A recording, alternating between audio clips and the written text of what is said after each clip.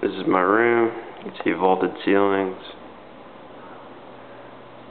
couch, TV, table, great view outside. Over here we have the kitchen. Right now, making some pasta, some sauce. You got the refrigerator. Still in progress of stocking up. Here's my room. Just finished. Just note how tall the ceilings are. It's just ridiculous. You got my suite set up over here. Xbox.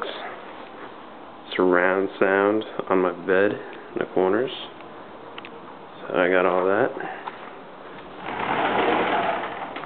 Nice closet with wireless. So, the bathroom. Two sinks.